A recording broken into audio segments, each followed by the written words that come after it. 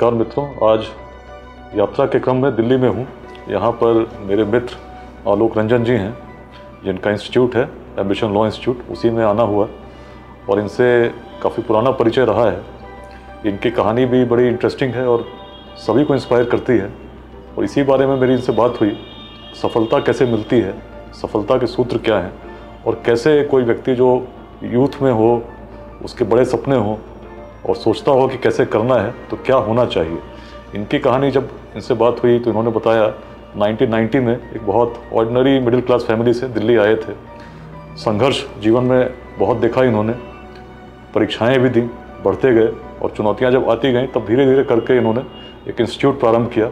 और आज इनके इंस्टीट्यूट से पढ़कर पूरे देश में अनेक कैंडिडेट्स जुडिशरी में सेलेक्ट हुए हैं। हर डिस्ट्रिक्ट में भी यदि कहा जाए तो बहुत सारे डिस्ट्रिक्ट्स में इनके बनाए हुए जज हैं जो आज जजमेंट्स डिलीवर कर रहे हैं। एक व्यक्ति कितना परिवर्तन कर सकता है उसकी कहानी है।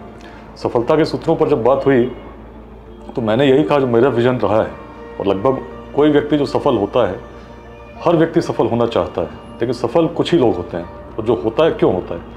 तीन तरह के लोग होते हैं। काम शुरू करते नहीं भय से नीचे लोग। जो पहली कैटेगरी के लोग हैं, ऐसे लोग होते हैं जो करना चाहते हैं, लेकिन मन में डर होता है, उन्हें लगता है कि जो लक्ष्य है, बहुत कठिन है। तो फिर शुरुआत नहीं करते they go for something else तो ऐसे लोगों को सफलता कैसे मिलेगी? मध्यम, जो मिडिल कैटेगरी है, मध्यम त्यजते बीच में देख, विषम, संयोग।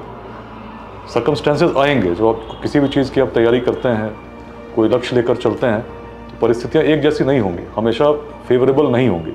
आपको कुछ प्रयत्न करना होगा, परिश्रम करना होगा, निष्ठा के साथ करना होगा। और जब ऐसा भी करेंगे, तब भी समस्याएँ अघोषित कहीं से भी आ जाती हैं और आपको विचलित कर देंगे। ऐसे में यदि आपने धैर्यपूर्वक काम किया तो पर उत्तम वे लोग जो हर दुर्गम पथ झेल, दृढ़ता से बढ़ते सतत बाधाओं को ठेल, सफल वही होते हैं जो कितनी भी परेशानी आ जाए, कितनी भी विपत्ति आ जाए, लेकिन विचलित नहीं होंगे। जिस ध्येय को ध्येय को लेकर चले, उस लक्ष्य को लेकर चले, उसकी ओर परिश्रम करते रहे। और जीवन में आप देखेंगे जितने लोग सफल हुए, इतिहास के काल में हुए, वर्तमान में हुए, ऐसे ही लोग थे जिनके मन में जिद थी, निश्चय था कि करना है। और एक बात बड़ी महत्वपूर्ण है सक्सेस इज़ नेवर लास्टिंग यदि आप कोई लक्ष्य लेकर चलते हैं, उस लक्ष्य को आपने प्राप्त कर लिया, और आपने सोचा कि बस अब तो सब कुछ हो गया तो वहीं आपका अंत शुरू हो जाता है। सक्सेस जो है ना, वो आप सीढ़ियाँ चढ़ते हैं लाइफ में। लाइफ लंबी है। लाइफ का लक्ष्य क्या है? संतुष्टि। You have to be very happy कि आपने जो भी जीवन में किया हो, क्यों किया, कैसे किया शुड बी वेरी श्योर और उसमें हर लक्ष्य जो आप तय करते हो, उसको प्राप्त करके यदि आपको वो भाव आ गया कि अब तो हो गया, इसके आगे कुछ करना नहीं तो यात्रा आपकी रुक जाती है। Success is never lasting failure is never final यदि आपने लक्ष्य तय किया, बहुत परिश्रम की, निश्चय भी था, लेकिन फिर भी कहीं ना कहीं किसी कारण से आप चूक गए, और आपने सोचा कि अब तो यही अंत हो गया, ये भी सोचना गलत है। आप देखेंगे जितने लोग भी सफल हुए हैं, उनके जीवन में भी कभी ना कभी असफलता का सामना अवश्य करना पड़ा। व्यक्तिगत मैं देखता हूँ तो मैं भी फ़र्स्ट अटैम्प्ट में यूपीएससी में सेलेक्ट नहीं हुआ था। उस समय यदि मैं सोचता कि दूसरा नहीं देता हूँ, परेशान हो जाऊँगा तो आज आईपीएस नहीं रहता, जितने लोग उस रूप में अपनी स्टोरी शेयर नहीं कर रहा होता लेकिन उस समय जो इतनी परिश्रम की थी तो दिनकर जी की कविता थी, और अधिक ले जाँच, देवता इतना क्रूर नहीं है। थक कर बैठ गए क्या भाई? मंजिल दूर नहीं। तो हमेशा कभी भी यदि आप असफल होते हैं तो भी विचलित नहीं होना है। और हो सकता है जिस लक्ष्य को लेकर आप चल रहे हो, आपने शायद अपनी शक्तियों का आकलन नहीं किया हो। ईश्वर ने आपसे कुछ और करना का संदेश देकर भेजा हो। उसमें यदि आप अपने संदेश को, अपने संकेत को पहचानेंगे तो हो सकता है कई बार हम समझते नहीं, दूसरों को देखकर अनुकरण करते हैं, किसी लक्ष्य को लेकर चलते हैं।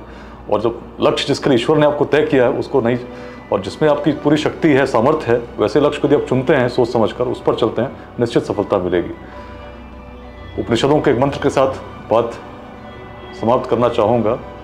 ऋषि की दृष्टि थी, जो बिहार के ही थे, बिहार वेदांत की भूमि रही है, बड़ी बड़ी सोच थी, इसीलिए उनको कहा गया उपनिषद वेदांत। जहाँ वेदों का भी अंत हो जाए। सोच यदि इसको आपने ग्रहण कर लिया तो जीवन में किसी भी लक्ष्य में असफलता नहीं होगी।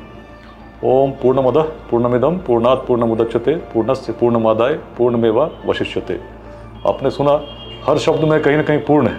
पूर्ण मतलब कंप्लीट मंत्र कहता है कि जो पूर्ण था, पूर्ण ही रहता है और पुनः पूर्ण में विलीन हो जाता है। The complete remains complete and goes back to the complete सुनने में बड़ा अजीब लगता है। यदि आसपास देखें तो कोई व्यक्ति ऐसा दिखने को नहीं मिलेगा जिसको हम पूर्ण कह सकें। हर व्यक्ति में कुछ ना कुछ कमी होती है। लेकिन ऋषि की दृष्टि क्या कहती है? जो पूर्ण था, पूर्ण है, पुनः पूर्ण में विलीन हो जाएगा। इसको यदि समझना हो, इस रूप में समझें। जैसे कोई सोने का टुकड़ा हो, उसको यदि हम छोटे छोटे टुकड़ों में खंडित करते हैं तो छोटा सा भी जो कण होगा उसमें गुण क्या होंगे? सोने के ही तो होंगे। ऐसा तो नहीं होगा आप सोने को काटते गए और किसी और मेटल के गुण आ गए। वैसे ही यदि हर व्यक्ति में परमात्मा का अंश है, हम कहते हैं, सुनते हैं, बचपन से सुनकर बड़े होते हैं और मानते हैं, और यदि मानते हैं कि आप में परमात्मा का अंश है तो परमात्मा के गुण क्या है? यदि गुणों की व्याख्या करना चाहें तो क्या किसी यूनिट्स में आप परिभाषित कर सकते हैं? एक ही शब्द निकलेगा, असीम इनफाइनाइट और यदि इन्फिनिटी को आप डिवाइड करोगे तो छोटा सा भी जो कण होगा क्या होगा? गणित सीधे रूप में बताती है कि इन्फिनिटी को डिवाइड कितना भी करोगे तो इन्फाइनाइट ही होगा। तो वैसे ही अगर इन्फिनिटी का एक अंश भी आपके अंदर है तो आपका सामर्थ्य क्या होगा? असीम।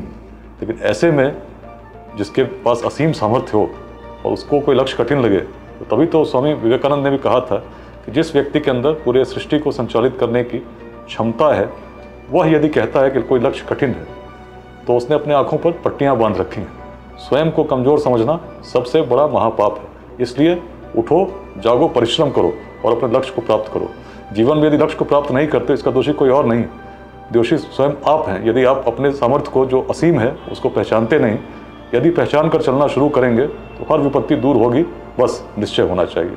तो मेरी यही शुभकामना है और आप भी आने वाले समय में एक यदि इन प्रिंसिपल्स के साथ चलते हैं तो निश्चित एक ऐसी इंस्पायरिंग स्टोरी बन सकते हैं जो बिलियंस को इंस्पायर करेगी।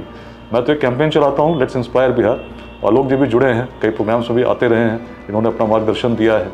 उसका सिंपल संदेश यही है कि स्वयं प्रेरणा स्रोत बनिए, परिश्रम से, और दूसरों को भी प्रेरित कीजिए, कुछ योगदान करने के लिए समाज के विकास में, बड़ी सोच के साथ।